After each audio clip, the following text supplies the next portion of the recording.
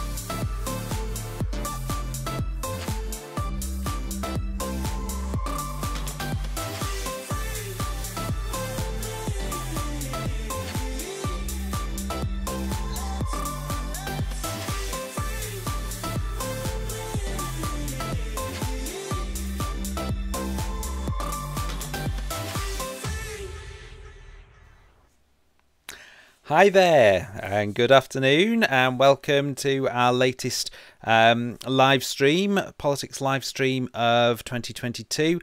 And we're focusing today on devolution. I'm joined as ever by Kira, and I believe you're in some other far flung part of the world this evening. You know, join, join the globe globe trotting contributor, Kira. Where are you? Berlin, is that right? Berlin, yeah. Yeah, Keeping it, well- keeping it uh, varied. Yeah, absolutely. We should have perhaps um, done something on the European Union this evening or something like that too. Uh, Uh, yeah, next time. Just fly me out somewhere else. Yeah. okay, yeah, great stuff. Um, so devolution, really important topic, and we've recently had the advance information from the exam board that's come through, and it definitely includes this topic. So it's one that you know students sometimes struggle with a little bit. It's probably not necessarily on the top of everyone's list of favourite bits. I actually I quite like it, I have to say, but it's not on everyone's top of everyone's list of favourite bits. So um, let's get get cracking with it, shall we? Um, going to start with an activity which, if you've joined us before over the last couple of sessions, you will have seen. It's called the application gallery. And what will happen is you're going to see a few images. And what we'd like you to do is think about what those images might say about devolution. We've got a sort of debate question for this evening. Is devolution uh, good for democracy? Has it improved democracy in the UK, strengthened our democracy? And what I've tried to do with these um, images is I, when I've thought about them and what, what the images conjure up for me, is I've tried to think of something on both sides of that argument. So you could try and do the same thing too in the chat window. You could think something that that image presents that might be a strength of devolution and something that might be a weakness. So we'll bring the uh, images on. They're three very different images. Um, and we have, we should have some music. We haven't got some music. I've just seen that we won't have the music, but we will have a clock counting down.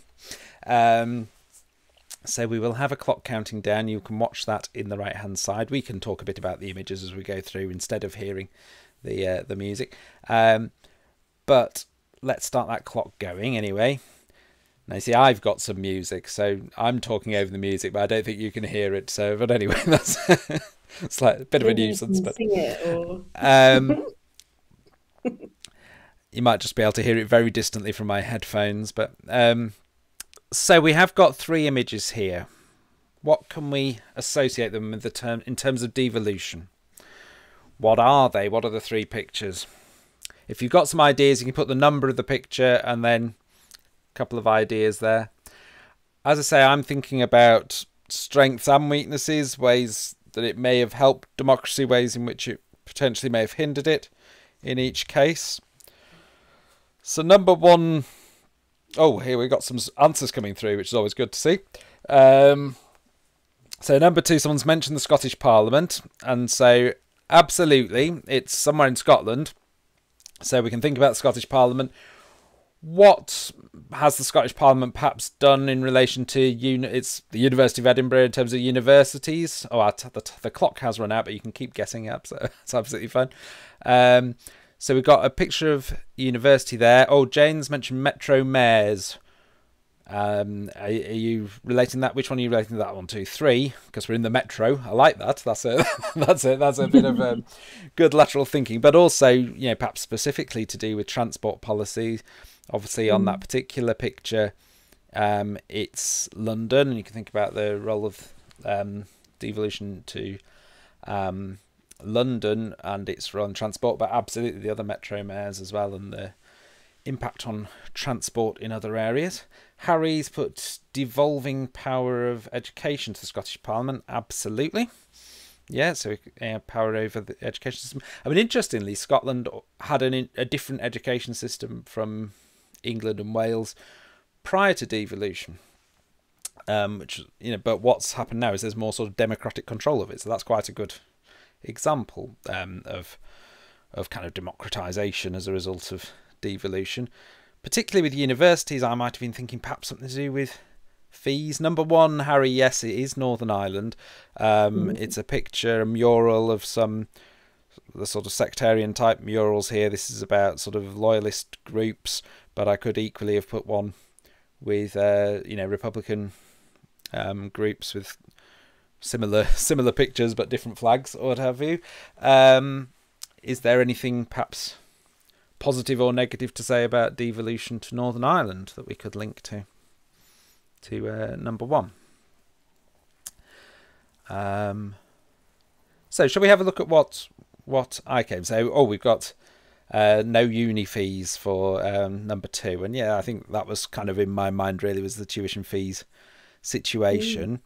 Um, but I was thinking of it on both sides of the argument about, um, you know, strengthening democracy and and arguably not. Um, Jane allowing for power sharing between the Unionists and the Nationalists in Northern Ireland, absolutely really well done. So that's um, helped secure peace in Northern Ireland, helped deal with some of the sectarian issues. Although, you know, there's a sort of you know, there's also, you know, for example, at the moment, there isn't a First Minister in Northern Ireland. And in fact, I saw a statistic today that said I think it's right in saying since devolution to Northern Ireland, um, it's been kind of dissolved more often than it's been than it's been active. The the devolution to Northern Ireland because of problems with power sharing, and so sectarianism kind of undermines devolution as well as devolution, uh, you know, assisting with peace. So I, I came up with a, you know, it helped secure peace in Northern Ireland. Part of the part of that Good Friday Agreement was was um, the devolution to Northern Ireland, and, clearly the situation in Northern Ireland is more democratic today than it was um, prior to the Good Friday Agreement. Um, but you could argue that sectarian prevents the better functioning government of devolution, because it regularly gets suspended and and um, you know direct rule is sort of regularly um, reinstated because of the parties not being able to uh, to to get on, um, and and partly because of the, the the requirement of power sharing. So, for example, you know, the first minister um, just resigned, and you know automatically the deputy first minister has to resign in that situation. Um, you know, whereas normally you'd expect a deputy to take over if a first minister resigns. That can't happen in Northern Ireland. You have to have you know both sides, the Unionists and the Nationalists, represented in the executive. So, so you know the, that situation becomes you know is is problematic as well as being a positive. Um, yes, the second one I I was going for university fees, although I liked the other part. Um, okay, um, so we've got um, and the second one we've got free tuition fees in Scotland. Um, but also it relates, I think, to some of the issues regarding the West Lothian question, which I'm sure we will talk about later, probably more than once.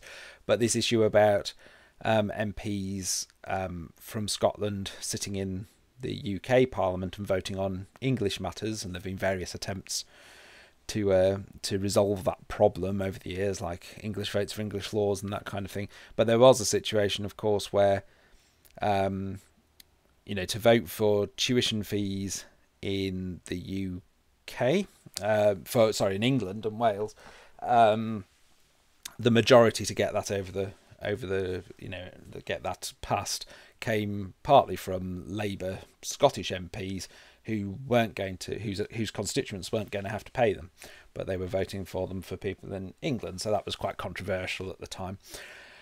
Um, so there are those issues. Oh, and we had a question about the Barnett formula in there as well, which is yeah, or a statement about the Barnett formula. Yeah, so how how the funding's arranged and who gets the funding and all that kind of thing. So lots of interesting stuff in there. We've also got you know a few people had some good ideas about the about the underground there. I went with transport in London. Obviously, that's a devolved matter.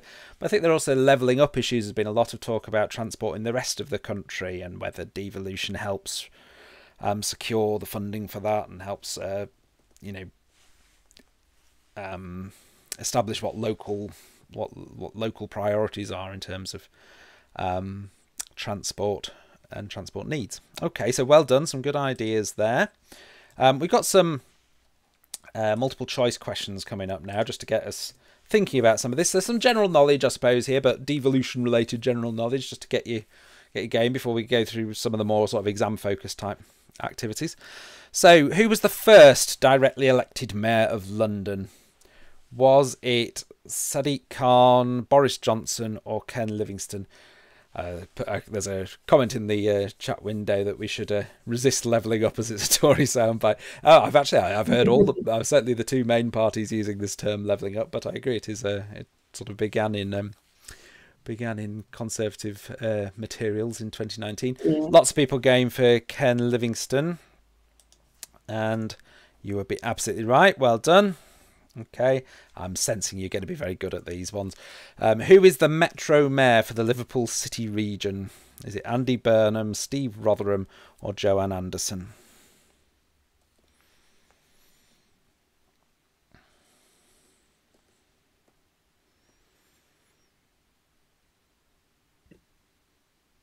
I appreciated the uh, London centric questions for a while there, Duncan. What happened yeah, to you? A couple of them for you, but I thought that's it now. We're done with London. More about London now. um, yeah, uh, we've I've seen a couple of right answers coming through. Well done. Yeah, lots of people going for B. Steve Rotheram, you are absolutely right. It is. Um, Joanne Anderson is the mayor of Liverpool, and this gets a little bit confusing when we start to think about the uh, the way devolved um, government, particularly city regions and things like that, and the metro mayors um, co- coexists alongside existing structures of local government. Okay, what I'm not. Oh, I've, I wrote this and then I realised I'm going to have to say it. My Welsh. So apologies massively to anyone Welsh watching. Um, what is Senedd Cymru? Uh, I hope that's somewhere close to right. Senedd Cymru, officially known as in English, is it A, the Welsh Parliament, B, the National Assembly for Wales, or C, the Greater Welsh Authority? What do we think?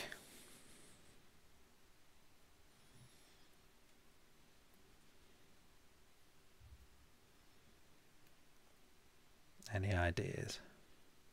I've seen had one answer come through so far.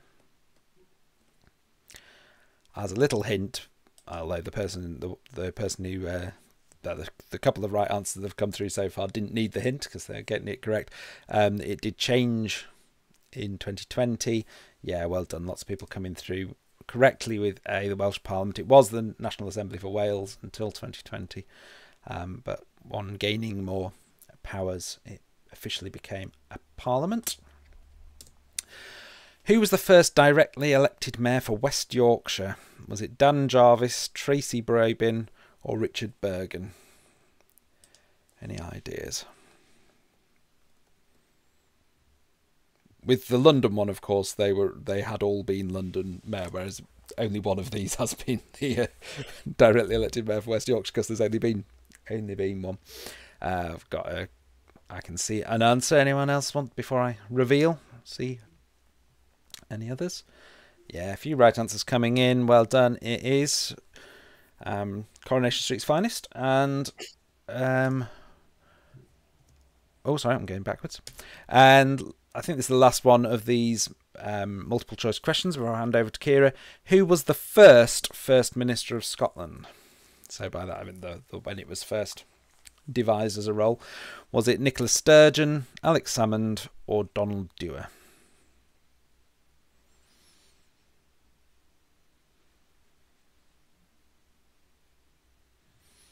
Seeing an answer coming through.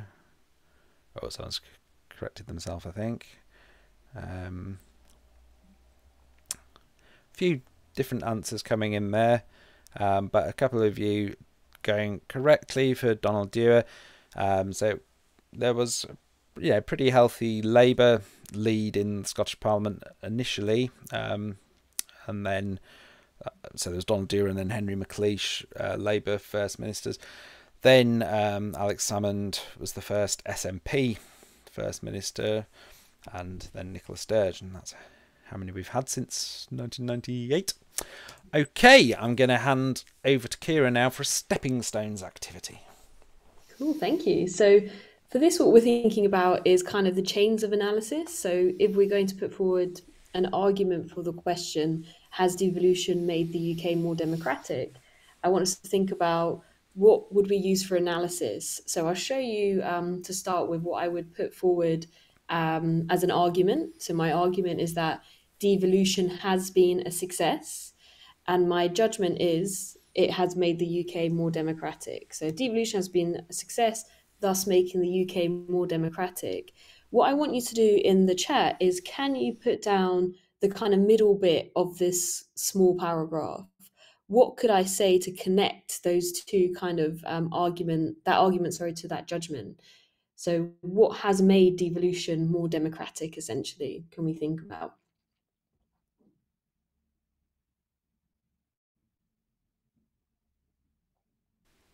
You occasionally see in uh, students' answers, don't you? This things that look a bit like this, and it's almost like without the analysis, it's almost like a kind of begging the question, isn't it? Devolution's been a success because it's made it more democratic, but it's almost like devolution's a success because it's been successful, and it's it's you know you need that you need that meat on the bones, don't you? What what do we mean Definitely. by it being successful? Yeah, I think this this is something that um, students sometimes struggle with. And the, the analysis is AO2, which I think is the hardest um, part of the mark scheme to achieve. And that's when you're really thinking about why. So, what is it about devolution that has been um, has has made the UK more democratic? So it's not just about what we can see; it's more democratic, but what is it about it? So it's things like thinking about uh, what is democratic, what is democracy, and how has devolution kind of contributed to that. So the democratic criteria is quite a useful thing to think about. So even though that has been taken off of um, the advanced material, we still need to do think. We do still need to think in those terms about what is democracy and where we can see that. So we've got a good answer here. So yeah, excellent. Decentralised power away from Parliament across England to increase representation of the country. for example, local councils where citizens are able to vote for people to represent them more locally. Brilliant answer. And there, there you can see a very clear uh, aspect of the democratic criteria this idea of representation, right? So, democracy is about being representative, and devolution has definitely contrib- contributed to that because we have local representation.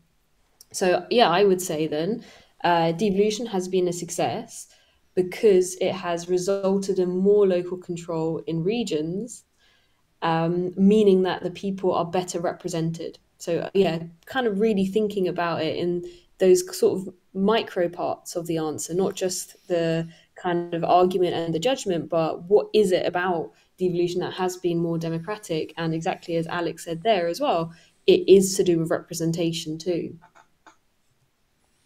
So let's kind of think a bit more about evaluation too, then. So we've got AO1, which is what Duncan did at the start, thinking about knowledge. AO2 is the analysis, and AO3 is about the evaluation and the judgment. So obviously, when we're talking about evaluation, we're not just talking about um, are you two sided, right? Are you thinking about both sides, but also coming over to a judgment. So I'm going to put forward an argument, and the evaluator is going to tell us what we're kind of going to do with that argument. So the argument is devolution will eventually lead to the breakup of the UK due to empowering local nationalism. So that's an argument that's been put forward. So let's see what we have to do with that argument. Do we have to agree? Do we have to add on to it? Do we have to disagree? Okay, cool. So, however, okay. So, what what's an alternative argument that we could put forward here? So, if somebody says that devolution will lead to the breakup of the UK because of local nationalism, what can we say to perhaps counter that? Maybe how is devolution going to strengthen um, the connections between the regions of the UK rather than actually divide it? So this might be a situation where perhaps our overall judgment in the essay is that devolution has been good for democracy, and then we've got this point here saying that you know it's, it's going to be a bad thing. It is a bad thing. It's breaking the the UK up, and we sort of need something to bring it back to our overall judgment. We've got, we've got a comment from Radio. Yeah, so devolution helps mitigate the threat of independence. Fantastic. Yeah, I think so. I mean, that was one of the selling points initially. I'm, you know, Tony Blair certainly felt that it would, uh, you know, it would sort of reduce the threat from the uh, nationalist parties because it was, it was essentially giving people what they wanted without independence. Yeah, it's kind of offering that middle ground so that the mm. calls for nationalism die down a bit. Kind of, it keeps some people hasn't, satisfied. Hasn't worked in Scotland, but you know that was the that was the theory. well, it is the theory, yeah. Um, so, as Alex said, however, there are a few, very few parties in the UK that support independence from the UK.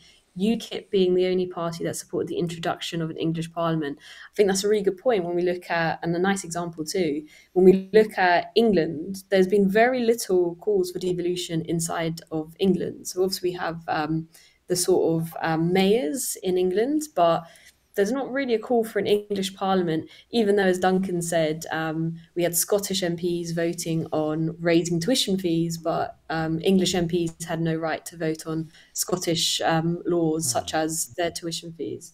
So there's a really good point. Yeah, I mean it's interesting, isn't it? Because the, I mean, the metro mayors for the most part didn't come from local demand in the way that, say, Scottish and Welsh parliaments did. It, I mean, when initially the referendums on having them, there was you know people voted against or, or, or very low turnout, etc. There was going to be the Northeast Assembly. There was a referendum on that, and hardly anyone mm. bothered mm. to, uh, to yeah, vote on that. So there is that very little um, demand for it. Mm. Yeah, there is the there is the Northern Independence Party now, but they, they have only uh, contested one by election. They didn't get a huge vote, um, even though they had a former Labour MP as their candidate. So there, again, there isn't a lot of demand mm. for this. Yeah, and I think, you know, with England, they tend to have benefited from the United Kingdom a lot more, right? So, um, London specifically, and the South specifically, obviously, um, because they are the biggest population. So, whoever England votes for forms the forms the government essentially. Yeah. Um, and we've seen maybe the Conservatives. So we mentioned levelling up earlier that kind of promise that they've made to mm. the north, that might be enough to kind of keep mm-hmm. that northern independence shout yeah. a bit lower. So Although not if it not if it doesn't materialise, I suppose. We've got some great answers coming through. Sunny. Well, let's see, yeah, on that one. Um, so although in Scotland there seems to be a high level of support for independence, in Wales, Plaid Cymru have not performed well. That's a brilliant answer, exactly. So we see actually that SNP have dominated um, the Scottish Parliament, but not quite the same um, with the Welsh Nationalist Party and Wales. That's a brilliant answer, thank you.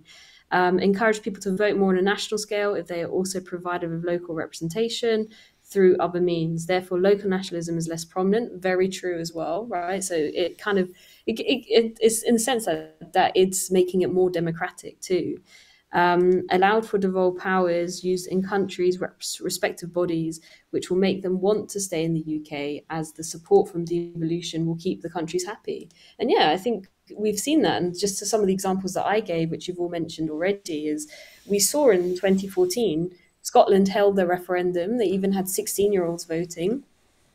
And um, we saw actually that they voted to remain.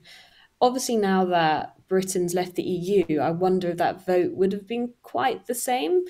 Um, because the EU's position was that Scotland wouldn't be allowed to join the EU as a separate member because they're worried about other countries kind of following suit. Um, but yeah, so Scotland did vote to remain, so they were happy in the union in that sense. Yeah, we see, as uh, someone mentioned as well, the Welsh Nationalist Party doesn't dominate Welsh Parliament, and devolution in England has been very low demands for it. Uh, it will not lead to the breakup of the UK because it is arguable that providing Scotland greater powers closer to Devo Max can decentralise calls for independence. And yeah, definitely.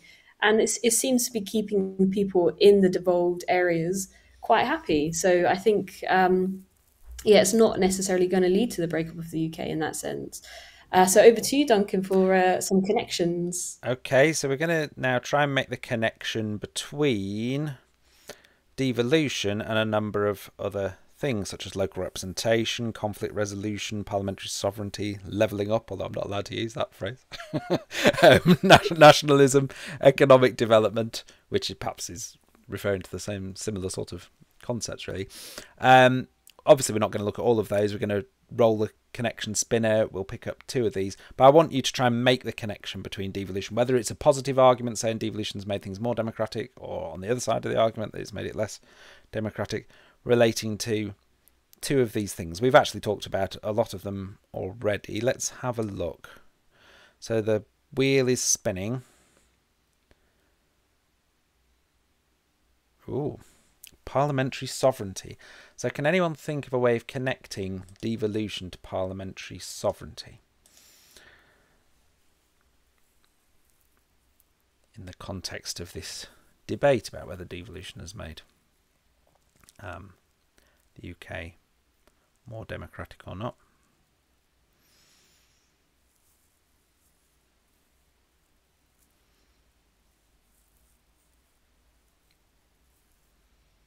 Any thoughts?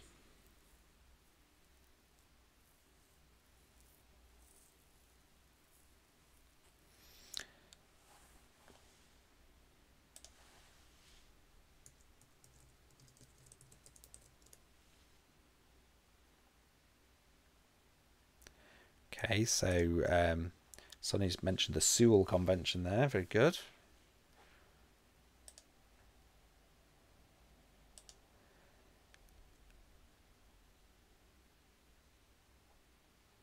So, I mean, the point being there, if people haven't, you know, not completely familiar with this, is relatively recent uh, idea is that essentially the UK Parliament will not normally, under normal circumstances, legislate for matters that are devolved matters for the uh, for Scotland or for Wales, um, which does lead to sort of suggesting, well, you know, Parliament isn't sovereign over the whole of the United Kingdom. Harry's put devolution undermines parliamentary sovereignty as it gives away the power from Parliament, hands it to other countries. Devolution can undermine parliamentary sovereignty, according to Radio. It leads to quasi quasi federalism. Very good. Um, yeah, absolutely, it could do. I mean, in theory, Parliament, Westminster Parliament is still sovereign. It grants the devolution. It could theoretically um, remove it. And obviously, we have had periods of um, direct rule in Northern Ireland. Um, Alex saying parliamentary sovereignty is diluted through intensified devolution. Sovereignty is not concentrated in a unitary parliament. Yeah, quasi federalism.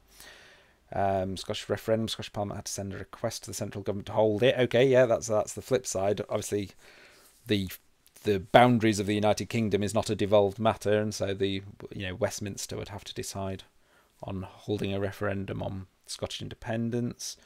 Okay, I think as well the this just the argument just always try and link it back to the question like if we're thinking about the fact that it has led in, in many ways to the decline of parliamentary sovereignty, it is ultimately a good thing you could argue in terms of mm-hmm. democracy.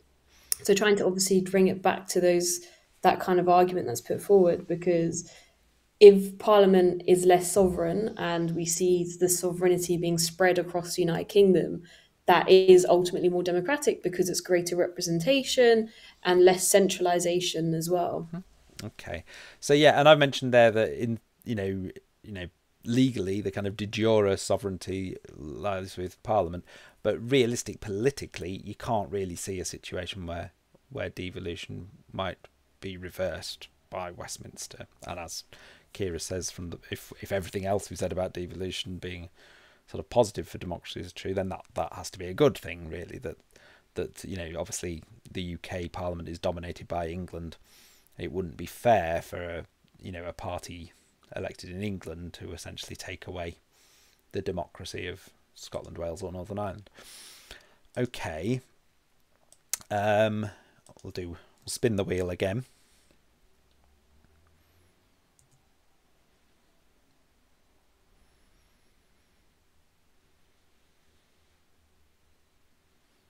economic development. Okay. Got other points coming into the chat window about um, the union. You know, arguably the union's become more fragile. Again, if we sort of link that to to democracy, I guess we could also link it to the idea of self determination. If people, ultimately, if a country wants to be independent, should be allowed to to be so if the majority of people there want that to be the case. Arguably, we could have a, could have that debate, but probably not today. Um, complicated in Northern Ireland, though. yeah, it does get complicated in Northern Ireland. Absolutely. If we link it to economic development, then um, the how has devolution impacted on economic development? Or how might it relate to it? What's a, a connection there?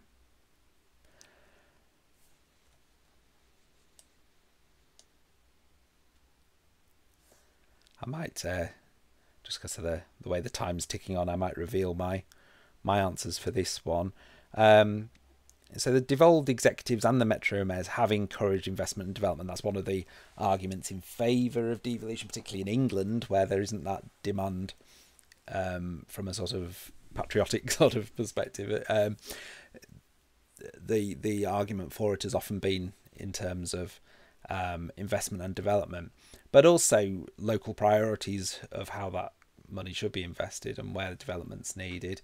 Yeah, um, in the chat window we've got London being a big hub for economic development, so devolution's been good for London in that sense. And again, that's part of the reason why people say, well, devolution, the city regions will be good for, you know, Sheffield and Leeds and, and, and Manchester and Liverpool and Birmingham because you know it's work it's been it's done good things for, for London and therefore it should do good things in those cities too. Okay, well done. I'm going to pass back to Kira now for an activity called 321. Cool. So, what's going to come up is um, three kind of categories where you have to try and think about three things to represent um, reasons devolution has been a success, two things to represent why devolution has actually failed, and one thing which is an example of um, success of regional politics. So just try and you can start from number three, you can start from number two or one, how, however you prefer, but try to write down like a list of any of these uh, three categories. So three reasons devolution has been successful, two for its failure, and an example of the success of regional politics as well. I feel like uh, my arguments actually lean towards one side here, but that's okay because we need to be decisive of where we sit on an argument anyway, even if we do have to consider both sides.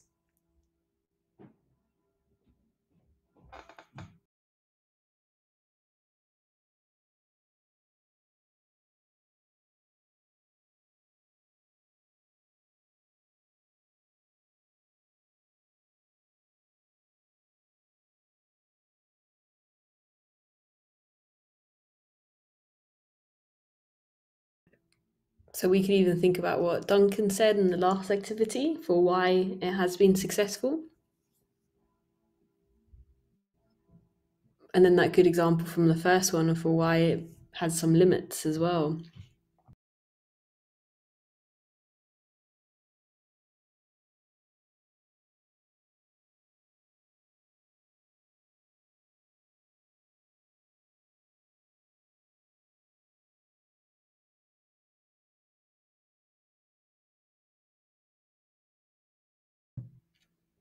Okay, so Alex saying successes come from greater representation um, and increased political participation, definitely, and economic development as well.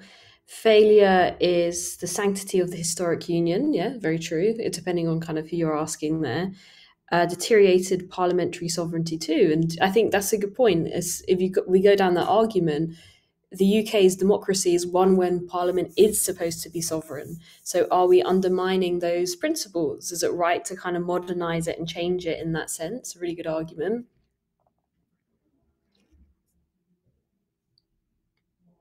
And yeah, we have seen a greater representation in um, the the sort of uh, regions, although interestingly, not across the not across the board. Actually, when we look at the metro mayors, participation has been fairly low there. Uh, hmm, devolution, so as, as uh, Radio said, devolution allows for cultural identity and national feeling in each part of the UK. Very true, right? So we do see that, like the fact that in Wales they're using Welsh on their on their signs to try and kind of preserve and protect the Welsh language. So I didn't put that down, but that is a really good point about protecting that cultural identity whilst being part of a bigger union. So I think that's quite important. Uh, decisions being made at a more appropriate level, fantastic. And we see that with COVID 19 policies, for example, how each of the regions were able to kind of put forward their own COVID policies in order to kind of do what they felt was best for their country. Um, regional success Scotland gave 16 year olds the right to vote in elections, which is better for political rep- representation and extending the franchise. Fantastic. The fact that obviously that's not present across general elections, but in uh, the regional elections, that's been very powerful. Uh, Sunny said failures, so good, getting some balance. Uh, provided more elections, turnouts are not particularly high, and created a divisive nature of politics. Scotland and England on Brexit. Yeah, so Scotland voted to um, remain in the European Union. Obviously, England voted to leave. Not all of the cities and parts of England, though. Um, and yes, despite that, so devolution is supposed to give these regions more power. They were reluctantly, just like Northern Ireland as well, dragged out of the European Union against their kind of will there. So, is it really giving them more power in that sense? Uh, oh yeah, really good point. Didn't put that down either about um, proportional systems in local regions. So we're seeing more mm-hmm. pluralism, fantastic link back to democracy. So obviously this is a synoptic paper, so really nice uh, good, uh, key yeah. terminology to do that. Um, so local issues be taken more seriously and greater freedom. And yeah, and I think having those more pluralistic voting systems does actually make people more engaged in democracy to kind of try to reduce the participation crisis that we're seeing in, in um, other elections. Um, so parts of the UK, such as Liverpool, London, Manchester, are able to have greater authority over transport. So good. We see that in the fact that on sorry, it's London centric, but in Transport for London, um, Sadiq Khan was able to enforce the ma- mask mandate. So Boris Johnson removed masks from um, public transport, but Sadiq Khan was able to say, well, in London, the tube is incredibly busy, so we want to keep the mask mandate there. It's a really good point. Uh, so yeah, my third point: um, support by all major parties. Uh, I think what, what I was trying to kind of say there is that it's a consensus. So, because it's a consensus, we're not likely to see any manifestos which will take away uh, devolved powers. So, that argument that technically, because the constitution's uncodified, a, a government could remove the power, but the fact that it's supported across all the major um, UK political parties suggests that that probably wouldn't happen. Um, so, I would say that means that it's been successful because yeah. of that. I don't know if that makes sense. Yeah. yeah um, Shall we look at the twos? The, yeah, so the yeah. twos, the kind of failures or the limits of it, rather. Uh, the West Lothian questions, obviously, um, the fact that uh, the English uh, England is left out um, from devolution, seen as somewhat of a loser in it. So even the fact that education maintenance allowance is still present in Scotland and Wales and not in England, um, but also the fact that yeah, turnout has been higher on the regional bodies, but when it comes to the metro mayors, it's been fairly low. Uh, yeah, more divisions. There's, I think, there's definitely some resentment in England about um, the the way that more money is spent on people in Scotland compared to people in England too.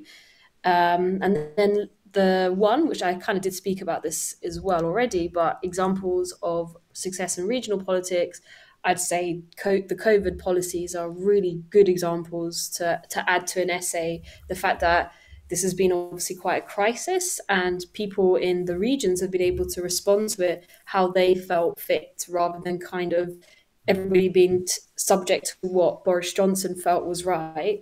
Um, it was actually what did the people in each region decide would work best yeah. for them. So things like Wales had circuit breakers for their schools, for example, mm-hmm. um, rather than just being kind of held to the conservative mandate of what they felt was right as well. Mm-hmm. So I think it's over to you, Duncan. For yeah, I was just I was just going to quickly say on terms yeah. of sort of the powers of the devolved bodies, an interesting thing this week with um, Cressida Dick's um, uh, resignation, in that you know ultimately it was because Sadiq Khan didn't have confidence in her, despite the fact that Boris Johnson expressed his confidence in her. So it's interesting that the the Metropolitan Police Chief, although not you know directly necessarily fully answerable to the you know to um to to the London Assembly in in that way, you know, was ultimately she she went because of um, Sadiq Khan's lack of confidence in her. So that's that was quite an mm. interesting development I thought this week. Um, sorry, yes, we've got one last activity, um, which is my favourite activity, but sometimes people struggle with it a little bit. So I'll explain the rules first of all. So it's called Word Smash. It's a bit like um, Answer Smash on Richard Osman's House of Games. You get a picture and you get a clue. The picture has nothing to do with devolution, the clue does and you smash the two words together. So in this case, neither of them have anything to do with devolution. We've got an elephant, we've got Antarctica, so you smash them together to make Elephantarctica. So in other words, the end of the first word is the start of the second one, so you smash them together. Hopefully it'll make sense when you go through them. This one I've decided to keep it a little bit easier by not blanking out the uh, make of the tuna chunks, which I nearly did. We've got Tam Dalyell's question about the impact of devolution on Westminster.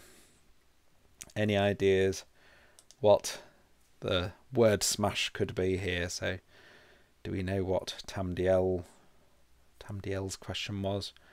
So uh, Alec has absolutely got the uh, correct answer to the right hand side of the uh, thing. It is the West Lothian question. Um, and yeah, Robin there's coming with the West Lothian question as well. All of them getting the West Lothian question because of the answer smash bit element of it, the word smash bit of it, it's John West Lothian question. But yes, absolutely, you got the important bit right. So well done. Very good. Tam Dalyell was the MP for West Lothian, which was why it got that name. Okay, the next one. Proposal to complete devolution to the nations of the UK. It has been mentioned and linked to one particular political party at not the last. Well, it might have been in their last manifesto, but they didn't do particularly well in the last election. They were very. They'd been sort of replaced by another party, but in previous elections, one party had particularly talked about this. Um, so we know there is already devolution to Scotland, Wales, Northern Ireland. I don't know if you recognise the character on the left. It's I'm after a character name rather than a rather than the actor's name. It is Rowan Atkinson. But Could be Devo Max. It's not Devo Max. Mm.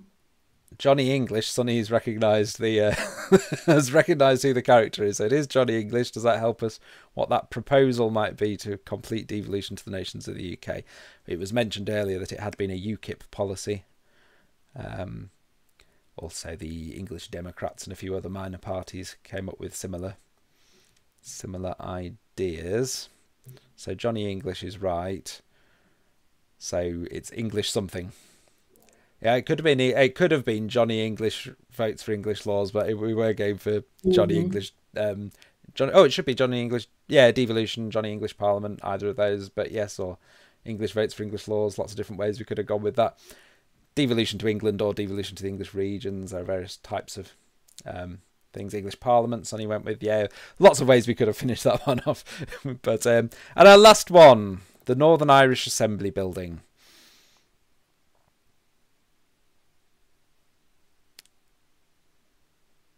It looks a, it's looking a bit like that outside here at the moment. Oh, we've had a right answer for the important bit of the uh, of the of the, of the thing.